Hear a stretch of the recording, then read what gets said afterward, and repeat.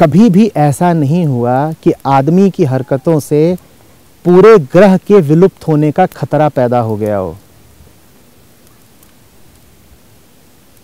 आज तुम्हारे पास इतने आणविक अस्त्र हैं कि तुम इस धरती को दस हज़ार बार मिटा सकते हो। अपने ही घर को दस हज़ार बार मिटाने का आयोजन जो लोग कर लें, क्या वो पागल नहीं है? हाँ या ना में जवाब दो। रुको अभी पहले।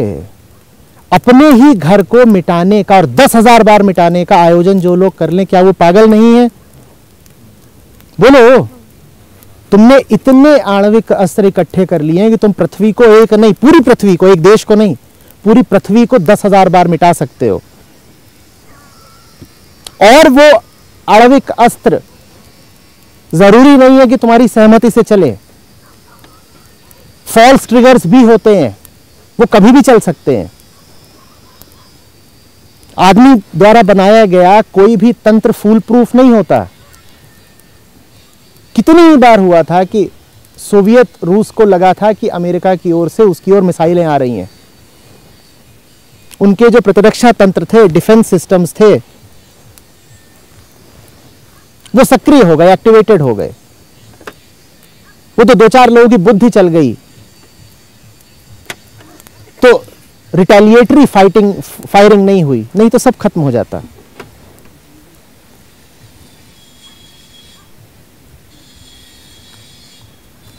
पाकिस्तान का उदाहरण लो।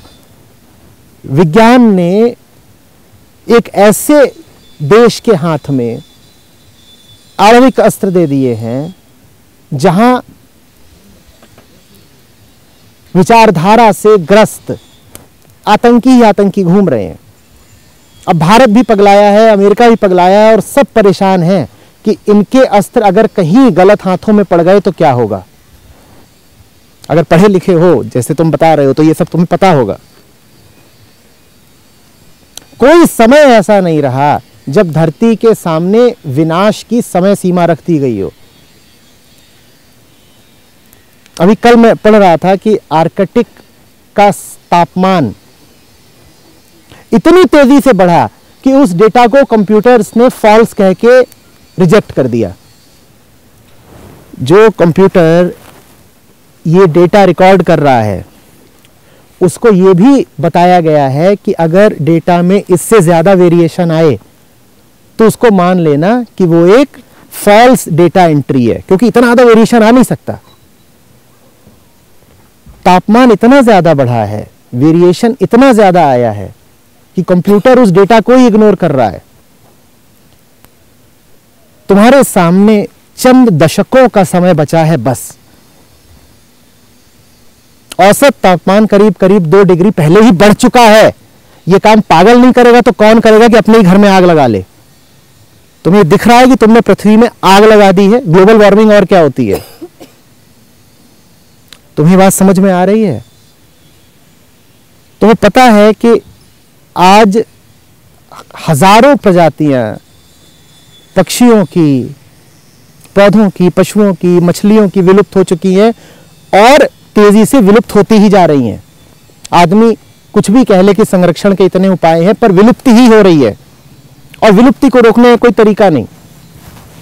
ग्लोबल वार्मिंग को रोकने के भी जो सब एग्रीमेंट किए गए हैं, उन पर अमल कहाँ हो पा रहा है? पेरिस समझौते से अभी अभी अमेरिका ने हाथ खींच लिए हैं। तो बहुत स्पष्ट सा है कि बहुत दूर नहीं, चंद दशकों में इन पागलों ने अपने ही घर को आग के हवाले कर दिया। और सबसे बड़ा पागल वो, जिसे अपना पागलपन दिखाई ना देता हो। इतने पागल तो न रहो कि पागलों के बीच में हो, सारे प्रमाण हैं और तब भी तुम्हें दिखाई नहीं दे रहा।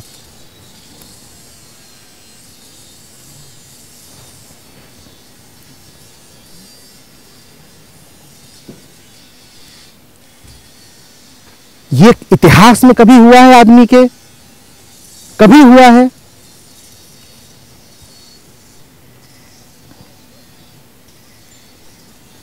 कोई ऐसा युग था जब आदमी इतने गहरे संकट में था जितने गहरे संकट में आज है? और पागलों का वक्तव्य यह है the earth is in danger. Save the earth पागलों को ये नहीं समझ में आ रहा कि अर्थ डेंजर में नहीं है, तुम डेंजर में हो। ग्रह बचा रहेगा। ग्रह का नवीनीकरण हो जाएगा।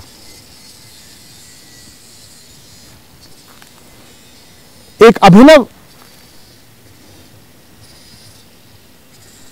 धरा पुनः उभर सकती है। तुम नहीं बचोगे। पृथ्वी पर तो जीवन दोबारा वापस आ जाएगा। इंसान मिट जाएगा, जैसे एक समय में डायनासोर मिटे थे। डायनासोर मिटे, फिर जीवन दूसरे रूपों में आ गया ना। या जब डायनासोर मिटते हो तो तब ये कहेंगे कि सेव द अर्थ। डायनासोर भी इतने पागल नहीं थे कि वो कहे सेव द अर्थ। उन्हें दिखा था कि हम मिट रहे हैं। पर आदमी कहता है सेव द अर्थ। खुद ही घर में आग लगाई है। उस घर में खुद ही फंसा हुआ है। और उसको समझ में भी नहीं आ रहा कि ये क्या कर लिया अपने साथ।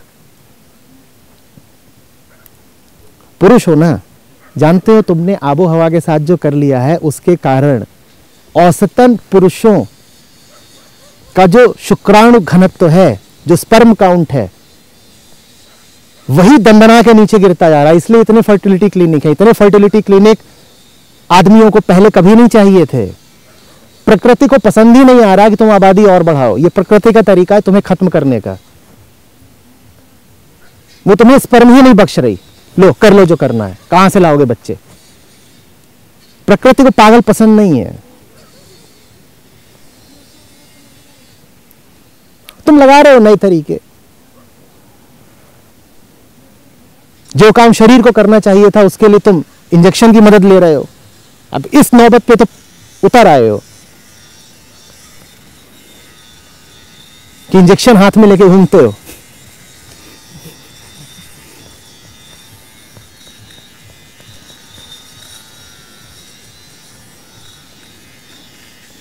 गूगल करना कि एवरेज मेल स्पर्म काउंट कितना होता था और कितना बचा है। और पूछना अपने आप से कि क्या यह महाविनाश का संकेत नहीं है?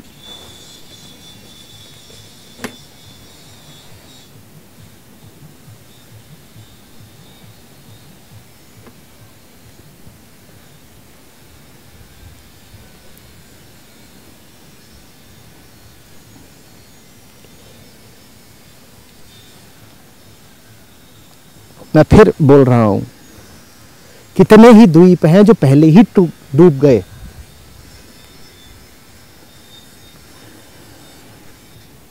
और ग्लोबल वार्मिंग तुम्हें खत्म करने आ रही नहीं है, सर पर आ चुकी है।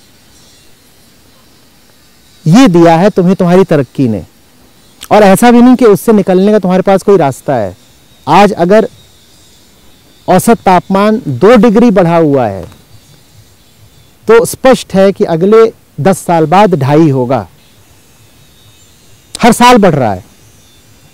पढ़े लिखे हो, मनोविज्ञान जानते हो तो अखबारों में ये भी पढ़ते होगे कि हर साल तापमान के ऊँचे से ऊँचे नए स्तर और नए कीर्तिमान स्थापित हो रहे हैं। पढ़ते हो कि नहीं कि इस साल दिल्ली में जो तापमान था इतना कभी नहीं रहा?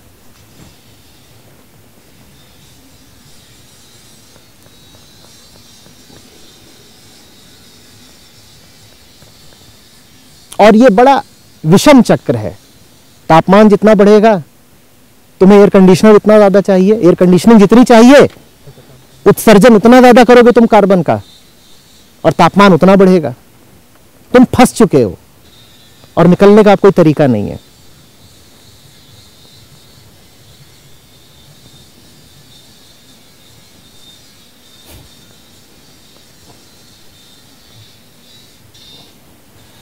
आपने बताया मैं तो विषय की बात कर रहा हूँ। उसके साइड मतलब उसके नेगेटिव जैसे चाकू है सेब काटने के भी काम आते हैं इंसान काटने के भी काम आते हैं। हमने एनर्जी का गलत यूज़ किया ठीक है लेकिन एनर्जी की स्टडी करना वो इन इटसेल्फ तो गलत नहीं है। अपने आप में बढ़िया है वो।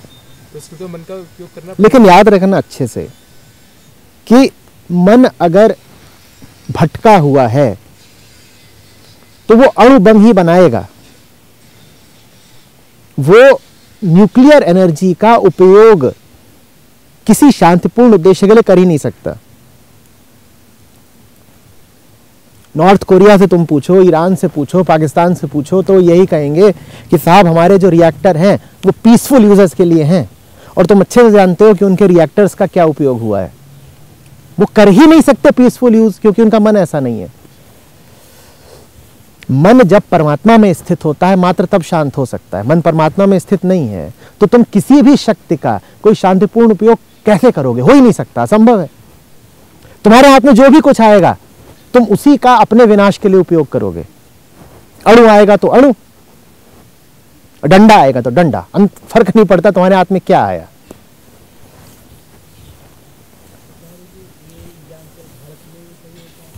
क्या हाँ इंसान के लिए सही है। भारत पाकिस्तान की बात नहीं है। इंसान के लिए सही है। जहाँ कहीं भी इंसान का मन अशांत है, वहाँ उसके हाथ में जो आएगा, वो उसका उपयोग अशांति के लिए ही करेगा। बात ना भारत पाकिस्तान की है, ना हिंदू मुसलमान की है।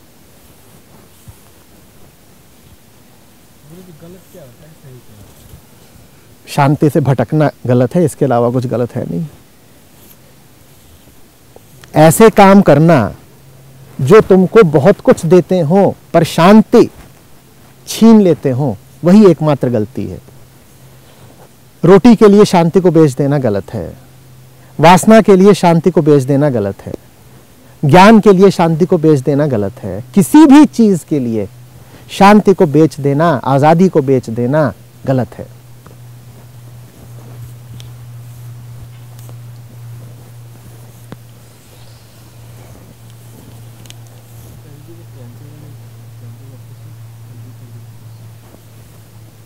हो तो गया। तुम इस बात के लिए विज्ञान का, और मैं जब मैं विज्ञान कह रहा हूँ तो मेरा आशय है आदमी के मन की अन्वेषक वृत्ति। आदमी पता करना चाहता है, इसी बात को विज्ञान कहते हैं ना। तुम विज्ञान का इस बात के लिए तो आभार अदा करते हो कि ऑन्कोलॉजी डिपार्टमेंट बना दिया कैंसर वार्ड बना दिया, पर तुम आदमी के मन से सवाल नहीं करते कि कैंसर आया कहाँ से। आज एक कैंसर स्पेशल ट्रेन चलती है पंजाब से। पढ़े लिखे हो तो ये भी पढ़ा होगा, जानते हो ना? एक ट्रेन चलती है, उस ट्रेन का ही नाम है कैंसर स्पेशल। रख दिया गया है नाम। उसमें सब कैंसर रोगी होते हैं पंजाब से चलती है। बताओ उस ट्रेन में इतने कैंसर रोगी आए कहाँ से? बताओ कहाँ से आए?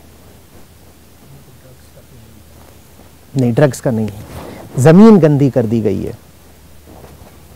ज़मीन में पेस्टिसाइड्स और फर्टिलाइज़र ग्रीन रेवोल्यूशन तुम ग्रीन रेवोल्यूशन के लिए विज्ञान का आभार अदा करते हो। और तुम भूल जाते हो कि वो कैंसर स्पेशल चलने लग गई है। पूरी ट्रेन उसमें ज़्यादा से ज़्यादा कैंसर के ही रोगी होते हैं।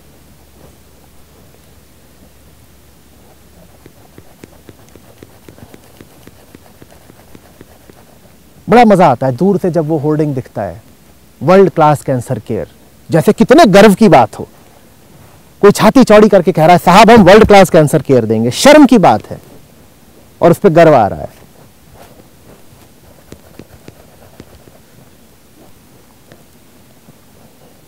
एक स्वस्थ आदमी दिखाना।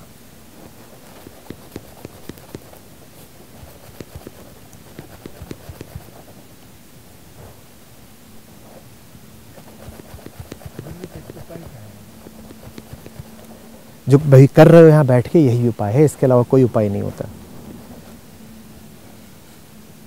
और जो मौन यात्रा करके आए और जो भक्ति नृत्य कर रहे थे, इनके अलावा कोई उपाय नहीं है, इसीलिए मन को उन उपायों में मज़ा नहीं आता, क्योंकि मन को कैंसर चाहिए। कैंसर का ही दूसरा नाम मन है। कैंसर जानते हो क्या होता है? पढ़े लिखे हो। जब कोई कोशिका अनियंत्रित रूप से बढ़ने लग जाए, पागला जाए उसे कैंसर कहते हैं। उसे जितना बढ़ने की ज़रूरत नहीं, वो उससे ज़्यादा बढ़ रही है। वो बेचैन है, वो पगलाई हुई है। बेचैनी का ही दूसरा नाम कैंसर है। जिस कोशिका को एक समय में अधिक से अधिक दोगुना होना चाहिए था, उतने समय में वो बीस गुनी हो गई। राजसिक हो गई, महत्वाकांक्षी हो गई। मुझे और चाहिए, मुझे और बढ़ना है, अपना दायरा फैलाना है। ये कैंसर है। मन को कैंसर चाहिए इसीलिए मन को उन उपायों से बड़ी कोफ्त उठती है जहाँ कैंसर का समूल इलाज हो रहा होता है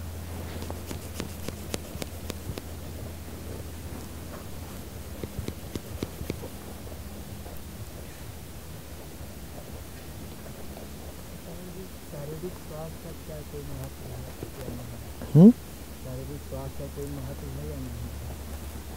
शारीरिक स्वास्थ्य का बेटा पूरा महत्व है, पर शारीरिक स्वास्थ्य तुम्हें दवाइयों के दम पर मिलता रहे तो उसका क्या महत्व है? जी तो रहे हो, अब पुरुष हो, जवान आदमी यहाँ सब बैठे हो, इसलिए पूछ रहा हूँ। अभी अभी हमने बात करी शुक्राणु संख्या की स्पर्म काउंट की। जी तो रहे हो पर शरीर में पौरुष बचा ही नहीं। उसके लिए तुम्हें दवाइयाँ खानी पड़ रही हैं। तो वैसे जीना चाहोगे या पूरे मर्द की तरह सिर्फ़ 25 साल जीना चाहोगे? बोलो। नपुंसक होके, दुर्बलता के साथ, विज्ञान की सभी उपलब्धियों का फ़ायदा उठाते हुए सौ साल जीना चाहोगे या एक मर्द का जीवन जीना चाहोगे? जीसस जैसा, अभिमन्यु जैसा, जो कम उम्र में मर गए थे पर जितना जिए मौज में जिए। बोलो। मौज कैसे? जब प्रेमिका सामने खड़ी हो और लिंग उत्तेजित ही ना होता हो तब समझ जाओगे कि मौज ना होना किसको बोलते हैं। हम्म, फिर समझ में आएगा कि एक जीसस की मर्दानगी किसे कहते हैं। जब प्रेमिका सामने खड़ी हो वो नग्न हो गई है और तुम्हारा लिंग कटे हुए केले की तरह ज़मीन पर पड़ा हुआ है। उसमें जान ही नहीं है, पौरुष ही नहीं है। तब समझ जाओगे कि मौज किसको कहते हैं, जब मौज छिनेगी।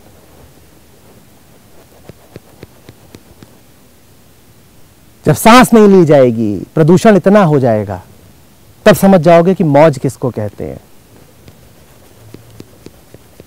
मुझसे मिलने कल अर्जेंटीना से एक युवती आई। वो बोली, भारत से बड़ा प्रेम, योग सीखने आई। लेकिन यहाँ सांस ही नहीं ली जा रही। तुम तो अभ्यस्त हो गए हो कैंसर के। धुएँ में भी सांस ले लेते हो, फ़र्क नहीं पड़ता। जिस दिन धुआँ इतना बढ़ जाएगा कि अर्जेंटीना और यूरोप वालों को ही नहीं, तुम्हें भी सांस लेने में मुश्किल आएगी। तब समझ जाओगे मौज का छिन्ना किसे कहते हैं। जो सहज उपलब्ध है, उसे मौज कहते हैं और वो तुम अपने आप से छिनने दे रहे हो।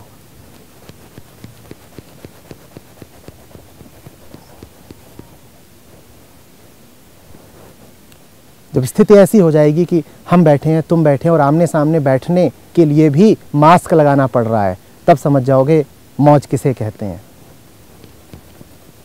ऐसी स्थिति हो चुकी है, हो जाएगी क्या?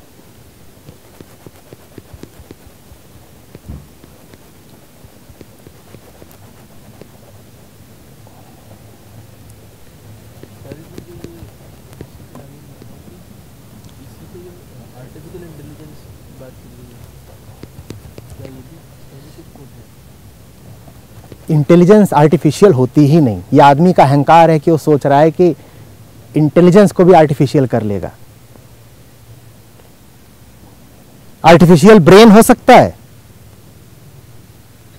जब आर्टिफिशियल ब्रेन ही नहीं हो सकता तो आर्टिफिशियल इंटेलिजेंस कहाँ से आ गई? तुम्हारी एक उंगली कट जाए, वो तक आर्टिफिशियल ही नहीं बनाई जा सकती। तो इंटेलिजेंस कहाँ से आ गई? इंटेलिजेंस जानते हो क्या होती है? मैं अभी बोल रहा हूँ, तुम्हें बात समझ में आ रही है ना? इसे इंटेलिजेंस कहते हैं। और तुम्हारे विज्ञान से बना हुआ, बड़े से बड़ा सुपर कंप्यूटर यहाँ रख दिया जाए, वो समझ नहीं सकता कि मैं क्या कह रहा हूँ। ना आज समझ सकता, ना आज से पचास हज़ार साल बाद। खैर, उतना तो हम चलेंगे ही नहीं। पचास साल का खेल बचा है। पर बड़े से बड़ा सुपर कंप्यूटर नहीं समझ पाएगा कि उपनिषद क्या कह रहे हैं, मैं क्या कह रहा हूँ, कबीर क्या कह रहे हैं। या समझ सकता है। वो अनुवाद कर सकता है, समझ नहीं सकता। उस समझ को कहते हैं इंटेलिजेंस अंडरस्टैंडिंग वो है इंटेलिजेंस वो आर्टिफिशियल कहाँ से हो जाएगी भाई? मूर्खतापूर्ण नाम है ये, महामूर्खतापूर्ण और बड़े अहंकारपूर्ण, बड़ी अकड़ है इस नाम में आर्टिफिशियल इंटेलिजेंस आदमी परमात्मा बनना चाहता है। जो तुम्हारे विज्ञान ने बड़े से बड़ा कंप्यूटर पैदा किया हो, उसके सामने जाके बोलो, अहम ब्रह्मास्मि और कहो, अब मतलब बता इसका। मतलब बता। तब तुम्हें पता चल जाएगा कि आदमी की औकात कितनी छोटी है और अहंकार कितना बड़ा।